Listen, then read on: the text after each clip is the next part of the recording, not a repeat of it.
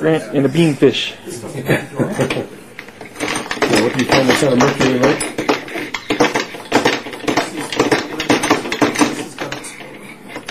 But this is uh, lamprey too. And uh, one of the oscillators on its back legs are obviously down.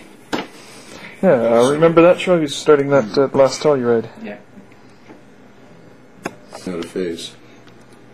On the floor somewhere.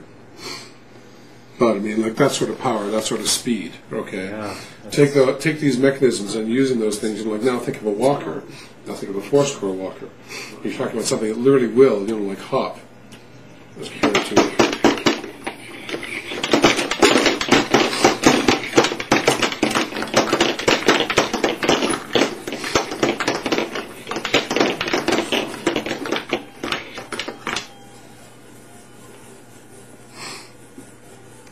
So I mean, it is cool though, and the um, the battery life is uh, not very long, right? But the uh, it's still a research prototype.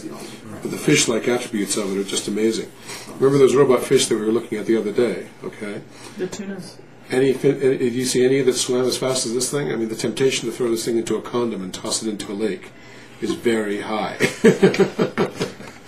because of that particular sort of weight movement, like just imagine the traveling speed you could get.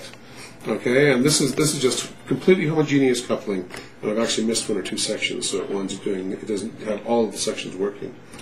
The neat thing about this is that originally I planned to have it about um, 20 sections long, which would have made it much more appropriate for lamprey. Um, last year I had very limited time because it was very complicated to build these things, and I couldn't get any of those lazy slobs to build it for me.